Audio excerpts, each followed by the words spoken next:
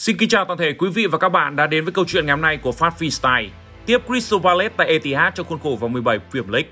Man xanh hoàn toàn áp đảo trước đối thủ và lập kỷ lục chưa từng có ở giải đấu.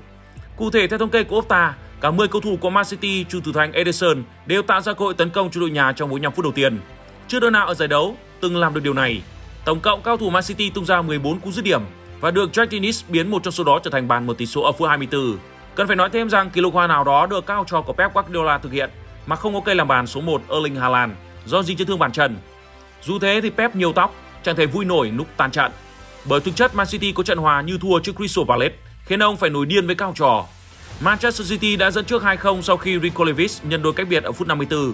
Nhưng rồi họ để trận đấu trôi tuột khỏi tầm tay theo cách ít ai ngờ được. Nhà đương kim Kimmich để đối thủ rút ngắn tỷ số rồi sau đó gỡ hòa ở phút thứ 90 cộng 5. Từ chấm phạt đền sau khi Phil Foden phạm lỗi trong vòng cấm.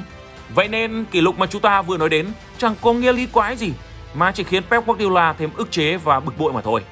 Bởi đây không phải một lần mà đã quá nhiều lần Man City của ông để đối phương lật kèo trong mùa giải này, nhất là trong quãng thời gian 10 phút cuối trận. 6 vòng đấu gần nhất thì tới 4 trận Man City để mất thế dẫn trước ở cuối trận. Và dù Chelsea, Liverpool và Tottenham là những đối thủ mạnh, Crystal Palace không những yếu hơn mà còn đang có phong độ rất kém nhưng vẫn làm được điều tương tự. Nếu ở cuộc đối đầu với Liverpool, Man xanh để Arnold gỡ hòa ở phút 80. Kế đến thì trận đấu tiếp đón các thủ Tottenham là đòn trừng phạt từ Kulusevski đúng phút thứ 90. Còn ở đại chiến với Chelsea thì người cũ Cole Palmer của Manchester City buộc họ chia điểm ở phút 90 cộng 5 cũng từ chấm penalty, tương tự như cái cách mà đội Pep hòa như thua trước Crystal Palace.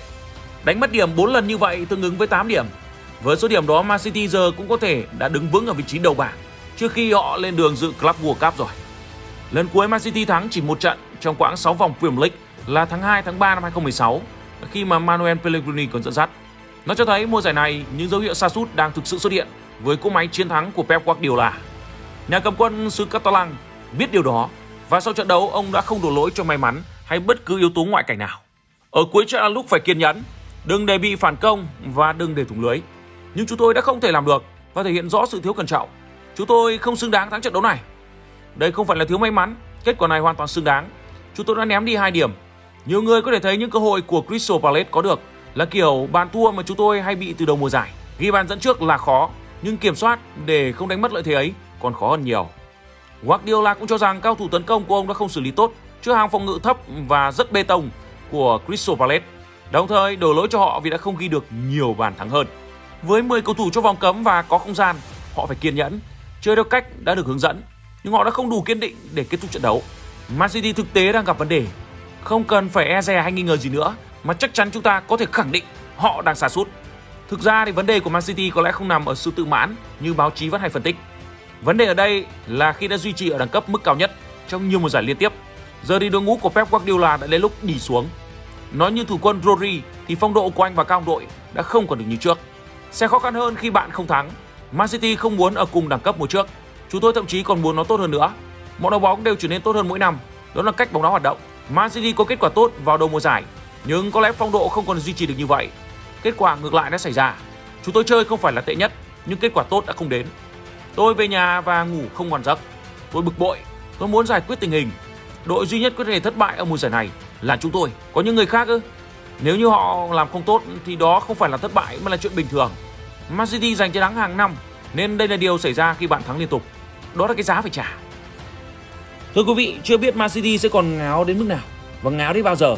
Nhưng có một điều chắc chắn là Arsenal sẽ phải tranh thủ và chắc chiêu từng cơ hội, từng dòng cơ hội nhỏ nhất một cách triệt để nhất. Sau 16 vòng đấu tại Premier League mùa này, pháo thủ có được 36 điểm với 11 chiến thắng, 3 trận hòa, 2 trận thua.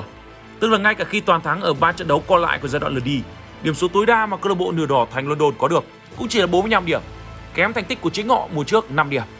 Đến đây sẽ có nhiều người nói rằng việc so sánh một Arsenal đạt đỉnh cao phong độ mùa giải trước với Arsenal ở thời điểm hiện tại rồi quy chụp rằng họ sa sút thì quả thật không công bằng. Tuy nhiên nếu xét về lý tính, những con số thì không bao giờ biết nói dối. Arsenal ở mùa giải này đang thắng ít hơn, hòa và thua nhiều hơn năm ngoái. Bản thân huấn luyện viên Arteta cách đây 2 tuần cũng đã lên dây cót tinh thần cho cao trò của mình bằng một phát biểu rất dứt khoát rằng đội bóng của ông cần từ 96 đến 100 điểm mới dám mơ đến chức vô địch Premier League. Viễn cảnh đội bóng của chúng ta à không, đội bóng của anh Phát chứ. Toàn thắng 3 trận còn lại của lượt đi để giành tối đa 45 điểm là nhiệm vụ cực khó khi trước mắt sẽ là những cuộc đối đầu đầy khó chịu. Đó là Brighton vào ngày 17 tháng 12. Đó là West Ham vào 29 tháng 12 trên sân nhà. Và xen giữa là chuyến hành quân dự báo đầy sóng gió tới Anfield vào ngày 24 tháng 12 để đối đầu với đội đầu bảng Liverpool. Đội bóng Arsenal không thể thắng trong nhiều năm phải thi đấu trên sân khách. Thực ra thì có hai nguyên nhân lớn để giải thích cho những sự chững lại của Arsenal tại đấu trường quốc nội ở mùa giải năm nay. Thứ nhất, việc phải căng sức chinh chiến ở cả hai đấu trường quan trọng khiến cao trò của Mikel Arteta bị bào mòn thể lực. Nên nhớ đây là một giải đầu tiên Arsenal trở lại Champions League sau 7 năm vắng bóng và cũng là mùa đầu tiên Mikel Arteta có trải nghiệm cầm quân ở đấu trường danh giá nhất châu Âu. Thành thật mà nói thì chiến lược gia người Tây Ban Nha trong lần đầu tiên được hít thở bầu không khí tại Champions League đã làm rất tốt khi giúp cho pháo thủ kết thúc vòng bảng với vị trí ngôi đầu bảng B sớm trước một vòng đấu. Tuy vậy, chính việc phải gian trải lực lượng cũng khiến cho pháo thủ dính phải hệ lụy thường gặp giống như nhiều đội bóng khác khi họ bị hụt hơi trong một vài trận đấu tại đấu trường quốc nội. Không chỉ Arsenal, cả đương kim vô địch Manchester City, Man United thì không nói rồi, Newcastle thì cũng gặp phải vấn đề tương tự. Thứ hai, đó cũng là lý do quan trọng nhất. Lối chơi của Arsenal đã có phần bị đối phương dè chừng và một số bắt bài. So với cái đêm một năm, các đối thủ đã nhìn nhận Arsenal với một ánh mắt hoàn toàn khác. Ánh mắt dành cho đội bóng đủ khả năng cạnh tranh chung địch Premier League một cách song phẳng với những đối thủ như Liverpool hay Man City. Sự cảnh giác của họ dành cho Arsenal tất nhiên vì vậy mà cũng cao hơn. Thay vì lựa chọn đôi công công hiến, những thế trận chặt chẽ là điều mà chúng ta thường nhìn thấy khi mà những đối thủ chạm mặt với Arsenal. Họ phân tích được điểm mạnh cho lối chơi tấn công của Arteta xây dựng, có đó tìm ra được cách khai chế. Huấn luyện viên người Tây Ban Nha biết điều đó, ông chấp nhận và đang tìm những cách tiếp cận khung thành đa dạng hơn, chẳng hạn như để Declan Rice lên chơi cao hơn khi cần bàn thắng.